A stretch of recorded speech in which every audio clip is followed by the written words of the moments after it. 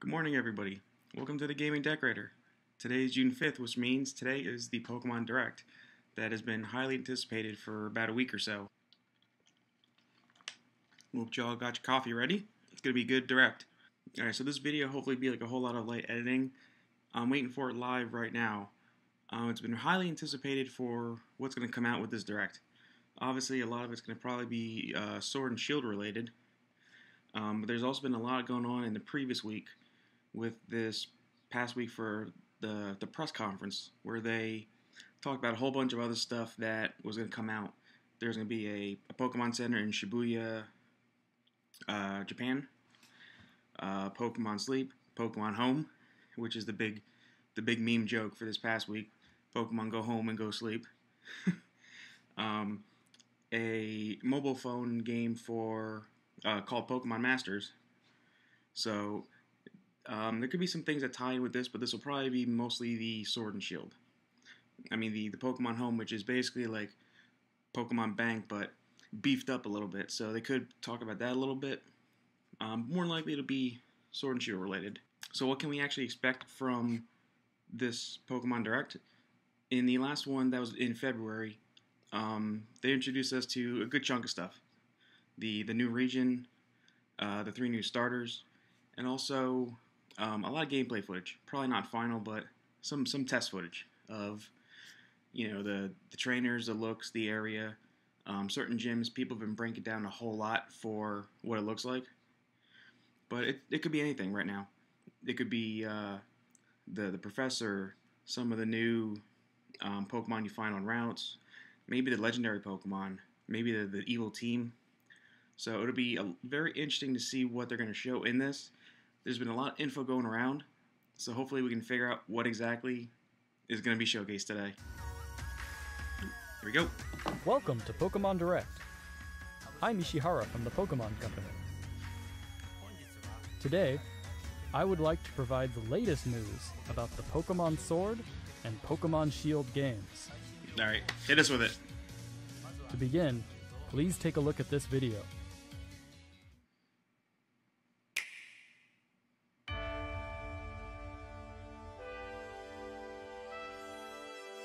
New images that we didn't get from the last direct.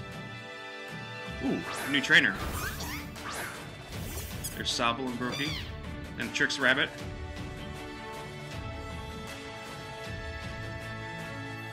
Okay.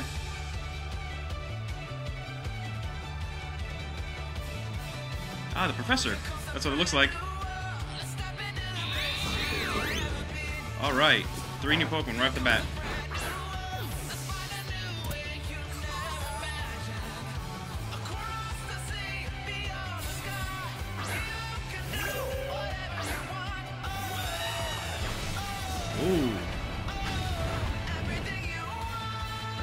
Pokemon.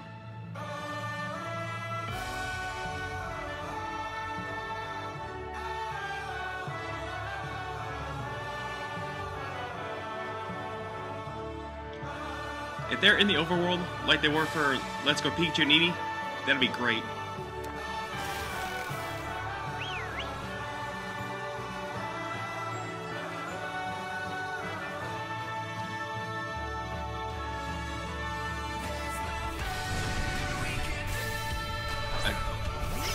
Giant Gyarados? Is that like a raid boss for Go?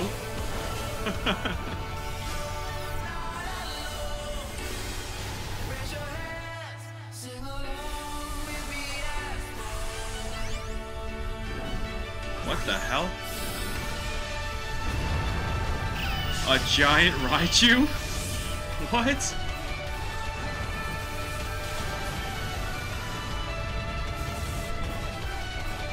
That might be the new gimmick for this generation. Uh, each generation has like a gimmick that makes it a little different. Six had Mega Evolution. This one was speculated to have Armored Evolution. So maybe these giant Pokemon are uh, are the gimmick.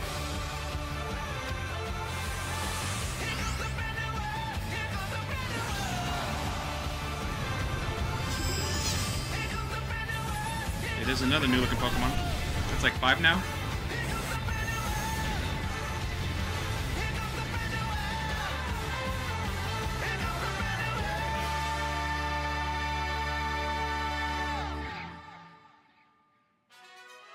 Maybe that's the champion. Hello, I'm Masuda from Game Freak. Hi, I'm Omori from Game Freak. What did you think of the video? It was very interesting. Today, we would like to deliver the latest news on Pokemon Sword and Pokemon Shield to all of you around the world, right here from Game Freak's offices where development is underway. Alright, what we got? Hit us. You can take on the role of the main character, who resides in the Galar region. Okay. After choosing Grookey, Scorbunny, or Sobble as your first partner Pokemon, you will embark on an adventure to become the champion.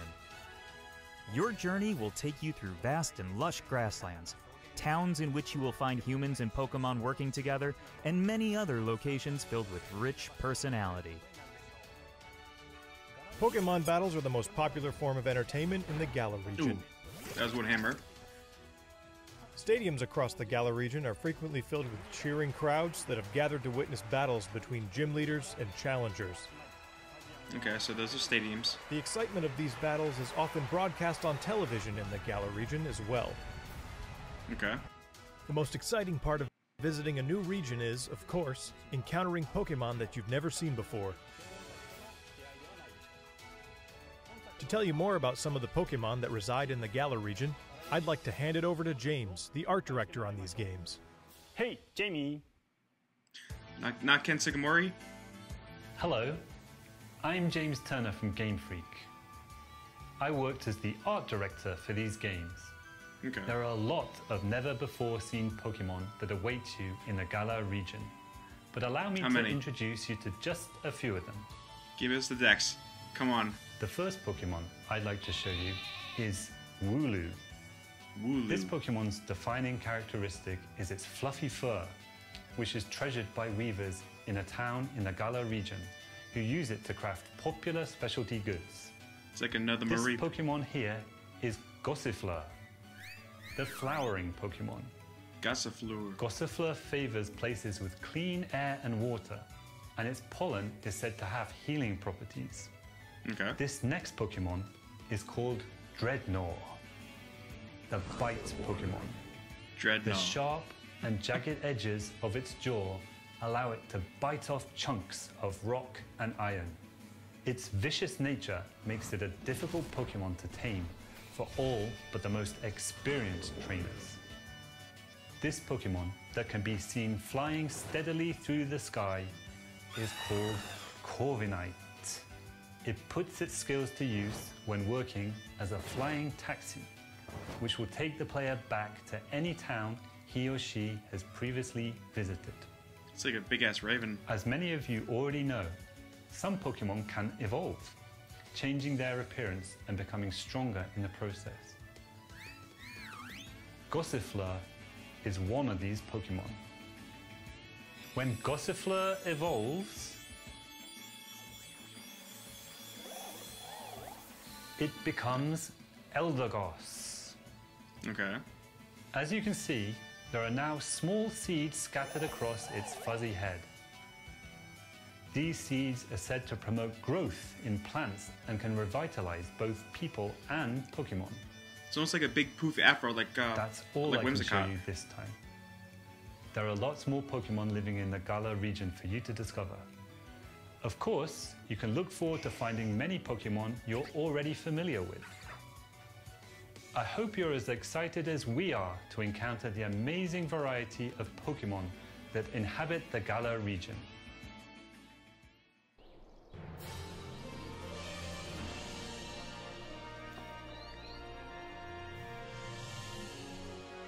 Meeting lots of Pokemon is one of the thrills of the adventure.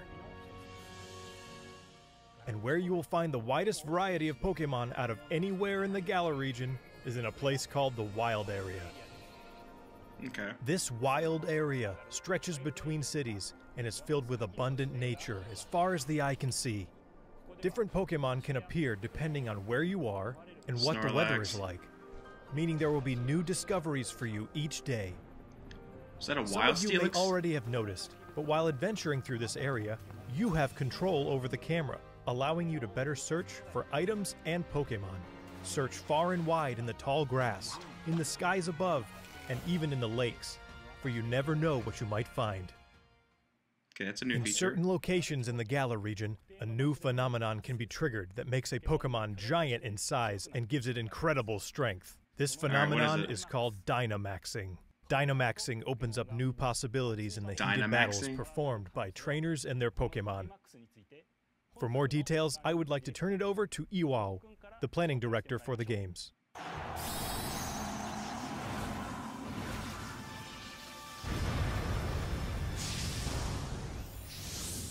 Hi, I'm Iwao from Game Freak and the planning director for Pokemon Sword and Pokemon Shield. All right. Let me tell you more about the new Dynamax feature, which will surely bring about all new strategies to Pokemon battles. Pokemon from the Galar region can Dynamax to not only become massive in size, but also boost their power. It really looks like raid battles from Go. All the moves they know turn into powerful max moves. Dynamaxing can be used once per battle. However, like Mega the Pokemon will revert to normal after three turns. So, you need to choose wisely when to trigger it. Hmm. Mastering Dynamax will be key to becoming a full fledged Pokemon trainer in these games. Remember that wild area we told you about? If you connect to other players, you'll find more ways to play there. Connect with other players. One of That's these new multiplayer features is called Max Raid Battles, in which Raid four battles. Pokemon trainers can join forces to challenge wild Dynamax Pokemon. In Max Raid Battles, the wild Dynamax Pokemon keeps its giant form for the entire battle. Not only that, it also has special powers that make it an extremely formidable opponent.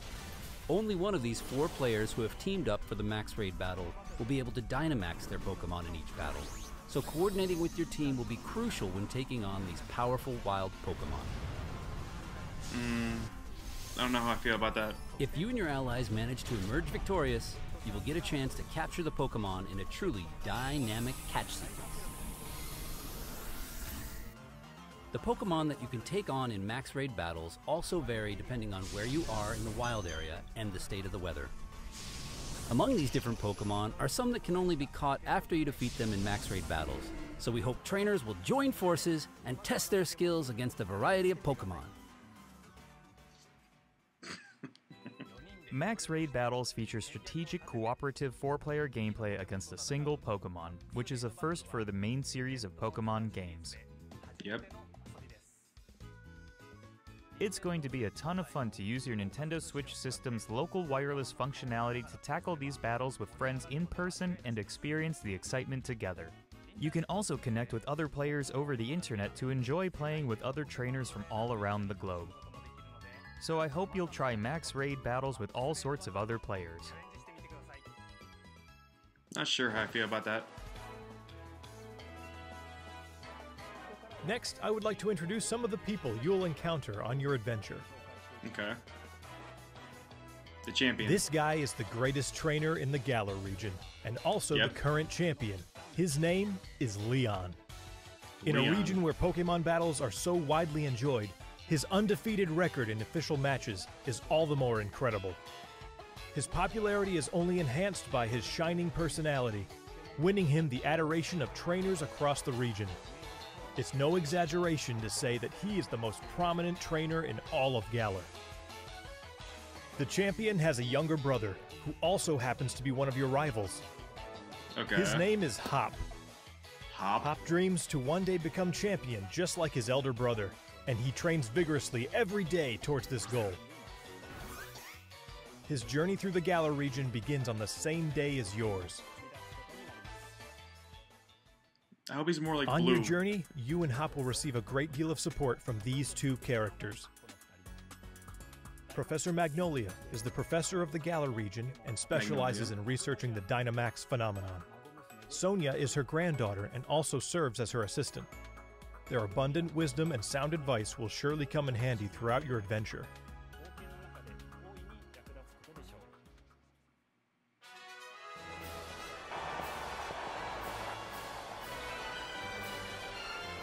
Next, I would like to talk about the Pokemon gyms in the Galar region. You Yeah, and your been a lot of rival will need to take on the Pokemon gyms throughout the region in order to achieve your goal of becoming champion.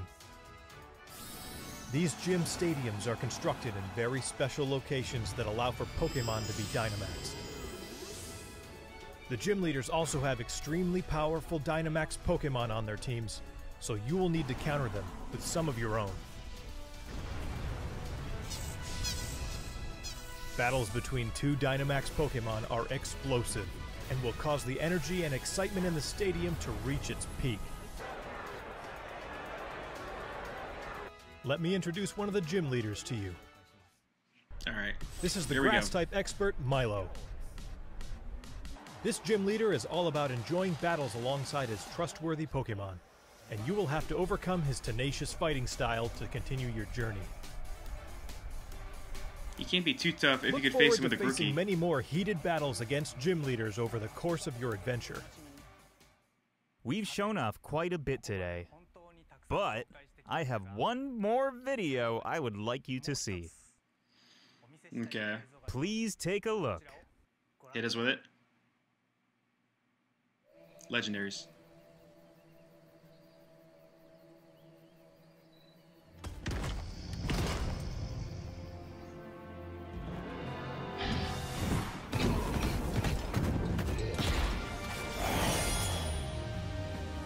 Alright. Mascots.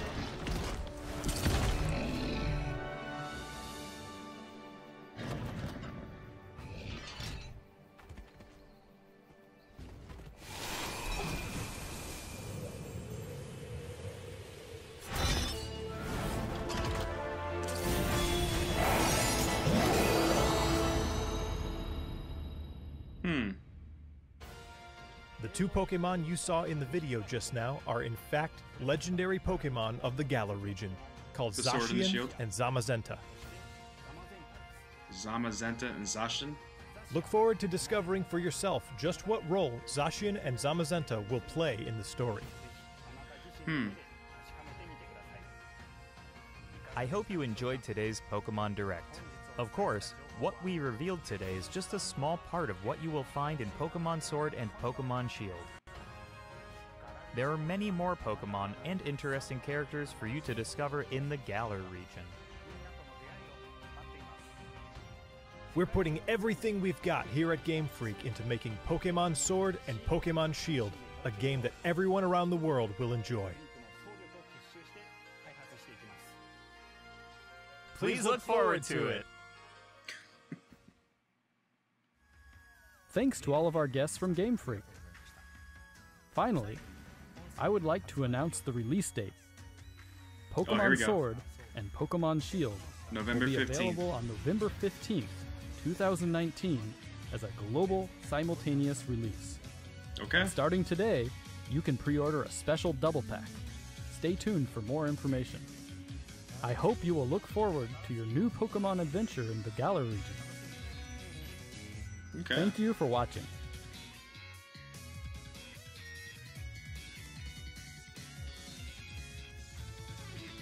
Alright, so that's pretty good. So we got a lot in that. Alright, so that was the Pokemon Direct. That was a lot of information that people were probably expecting. Um, they showed off the box art for for the Sword and Shield uh, Switch cases. I know there are a lot of people that were talking about maybe getting the box art for that as well, so that's cool. Um, we got the legendaries for Sword and Shield. We got the Professor. We got the Champion. Um, we got a couple extra Pokemon. I think like five or seven rather, maybe seven, including the two legendaries.